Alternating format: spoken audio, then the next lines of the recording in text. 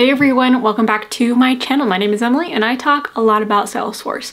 Today we're going to be talking about how to become a Salesforce consultant and how to supercharge your career as a Salesforce consultant. So let's go ahead and get started. So first of all, I want to talk about what is a Salesforce consultant. So let's actually break this down. What is a consultant? Because a lot of people don't really know what a consultant is or what a consultant does, and it's really actually pretty confusing. So kind of how I would describe it is that a consultant is someone who has a brain for hire. So someone that will do all of the thinking, who will answer questions for your business um, in a specific area. So um, a lot of consulting firms will have consultants who specialize in different areas. It could be in market research, it could be in marketing, it could be in software. So essentially what a Salesforce consultant is, is someone who is a Salesforce brain for hire who will perform Salesforce tasks for your company. So meaning if someone is a Salesforce, needs a Salesforce admin, there would be a Salesforce consultant who's also an admin who will then perform those admin tasks for you. Typically this is going to be on a project basis and will may or may not include any ongoing services going forward, but typically that would be done by the company that hired the Salesforce admin. Hopefully that explanation made sense. Typically working as a Salesforce consultant is going to be a very uh, fast-paced job. It is going to be on a billable hours type of system where you are working on a specific project for the company that you are not working for, but you are hired out to. And so you'll be working on an hourly basis, even though you might be salaried from that company. So let's say you are working at Accenture, which is a large consulting firm, but then you're hired out to, let's say, Google as a consultant to work on a specific project. Uh, you would Accenture would bill Google for your hours and then Accenture would pay you a salary. So let's talk a little bit about why a company would want to hire a consultant. One, it's typically going to be cheaper to hire um, a consultant for a specific project rather than to hire someone on full time just to then possibly lay them off once the project is done. It also helps in that kind of continuity basis where you know you're going to be on that project until it's done. Typically it's going to be for a project like I've mentioned and so you may be a specialty type of person within Salesforce. So you might be um, a CPQ developer and so you might just be needed for um, a CPQ implementation um, to develop on whatever company you're hired out for for that specific project to implement CPQ as a developer. And when that project's done, you're going to be put on another project that requires a CPQ developer or someone with your skills.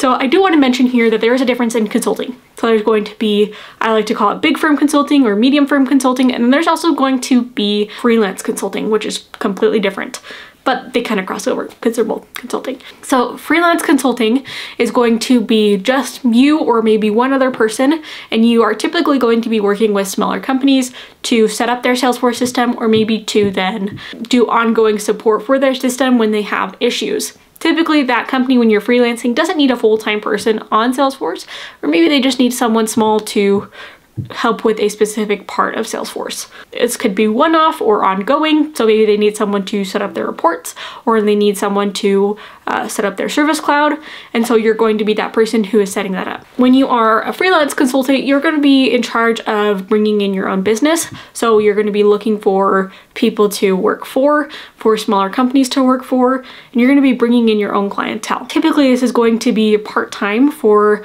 a lot of different companies, but you can build this up if you want to to a full-time job. Um, different ways that you can find clientele is on Upwork, is on LinkedIn. You could create helpful content like this. I found clientele through YouTube that I worked for. So that's going to be freelance consulting. Now let's talk about firm consulting. So the main difference between this is that you're going to be working for a larger firm. Like I mentioned, you're going to work for possibly Accenture, which is a larger one. Deloitte, Slalom, Simplus are all examples of different firms that you could work for, different consulting firms. There are also smaller boutique firms that are in each city or remote firms that you could work for. There's typically an endless amount of consulting firms for Salesforce. So guess one of the bigger differences is typically you're not going to be building your own clientele. The company will be doing that for you and then you're going to be staffed on projects. And these projects are not going to be ongoing unless you have a special designation called managed services, which is going to be after the project's done, any support that's ongoing that the client may or may not opt into. So oftentimes these will be an implementation of some type of new software, integration, setting up Salesforce as a whole for the beginning, or it could be for cleaning up data. So implementations of Service Cloud, Sales Cloud, Experience Cloud, uh, CPQ. It could be integrating systems like HubSpot and Salesforce, or you could be integrating AWS with Salesforce, or you could be cleaning up your data and trying to make the system run smoothly again. So these are all example projects of things that would be larger. And typically it is going to be a larger project. It's going to be something where you're going to need multiple people on, so you'll be working on a team for that project. A lot of the times you'll be using business analysts, developers, architects, admins, um, maybe specialty consultants that are going to be in field service, CPQ, Experience Cloud, whatever the project is.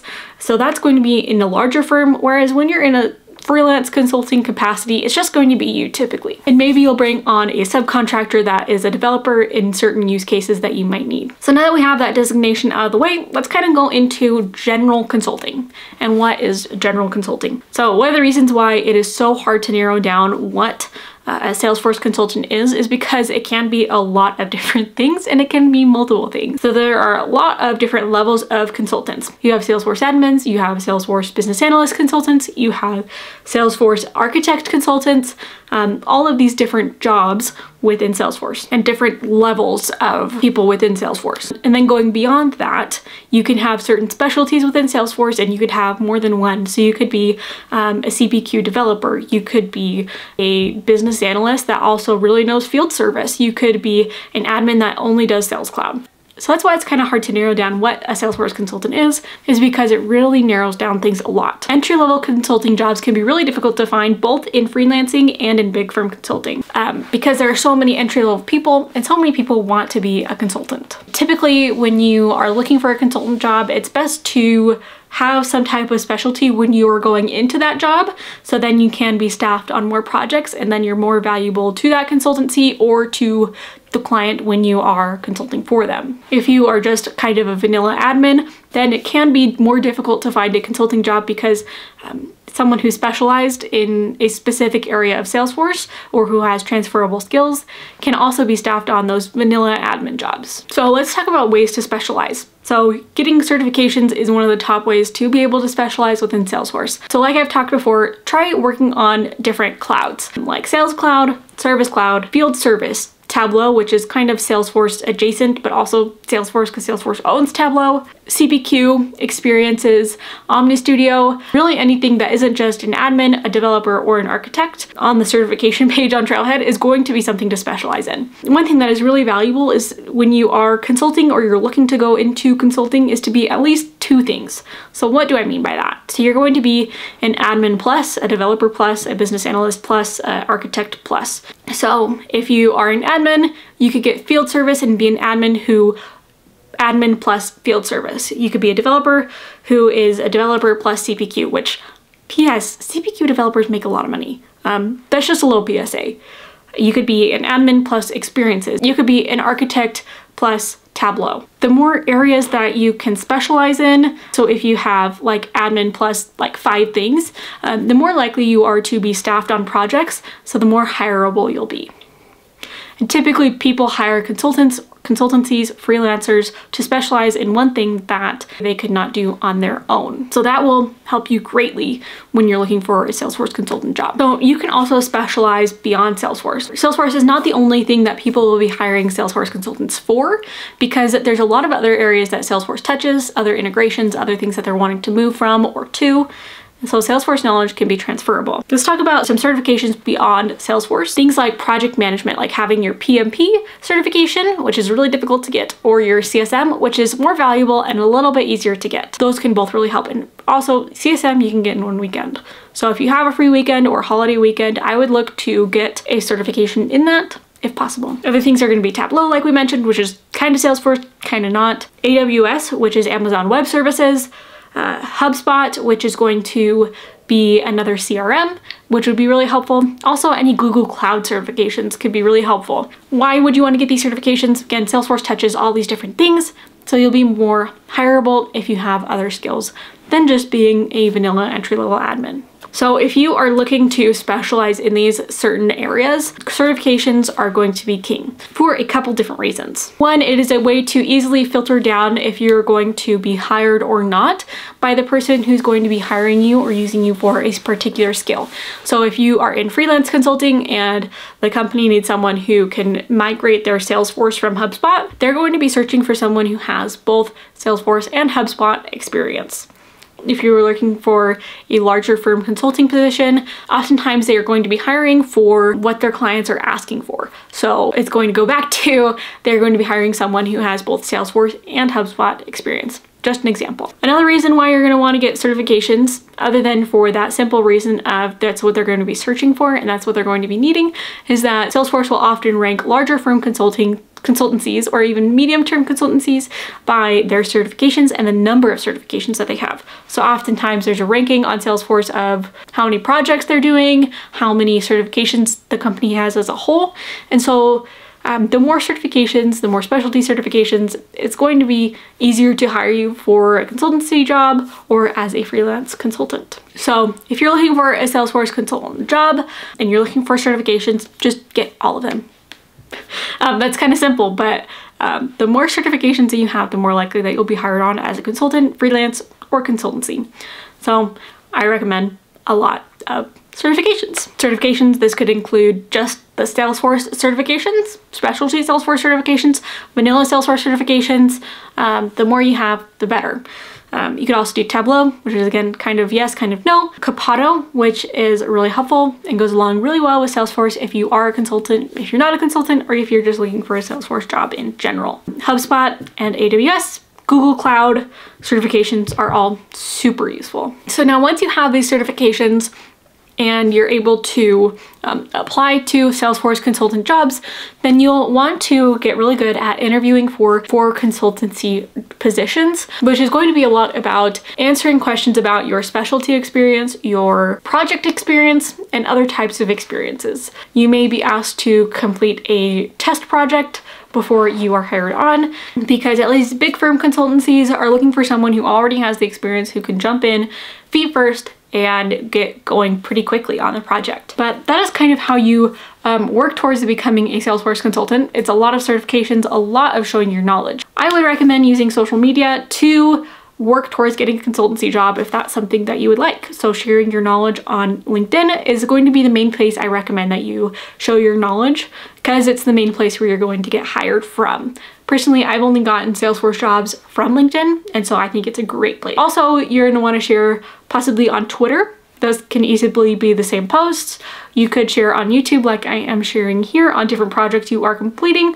So let's say you want to work on Experience Cloud and that's the thing that you're really passionate about. I really recommend that you create videos on Experience Cloud and post them here on YouTube as well as on blogs. Um, Experience Cloud is actually one of the things that YouTube lacks the most of, as well as CPQ on YouTube. There aren't a lot of videos on those things. So if you can share your knowledge on this platform on those specific specialties, then one, you're likely going to be able to help a lot of people and possibly be able to network into a consultant job. Here's a hot take recommendation about how to supercharge your career with a Salesforce consultant job. Personally, I think that this is a way to be able to level up in Salesforce fairly quickly and to gain a lot of Salesforce knowledge. I really would recommend this if you have a lot of time to focus on your career. So if you are single or if you're just married and you don't have any children and you want to gain a lot of knowledge on the Salesforce platform, get a lot of certifications very quickly through experience. This is how I would do it if I was somewhat new to Salesforce, I didn't really have a lot going on in my personal life and I just really wanted to focus on my career and getting a lot of experience really quickly starting from zero, this is what I would do. So once I have an admin job, I would then work, find an admin job in-house and then work towards getting to that first thing that I talked about earlier in the video where you're going to be either an admin and that's what you're gonna do, or a developer or an architect or a business analyst, whatever I guess job grouping you want to have within Salesforce, I would work towards getting to that. Once I was there, I would look towards getting a specialty certification that was in high demand. So CPQ, which is really difficult, experiences, which is going to be a little bit easier, field service, Omni Studio, um, Service Cloud, Sales Cloud are kind of specialty certifications, but a lot of people have those. So I'd look towards something a little bit more niche. Um, and while I was getting those, I would share my knowledge, share what I was passionate about, share things that would be useful to other people on YouTube, blogs, LinkedIn, Twitter, all the platforms. So once I was there, I had one or two specialty certifications. Maybe that was within Salesforce or maybe that was um, Salesforce adjacent.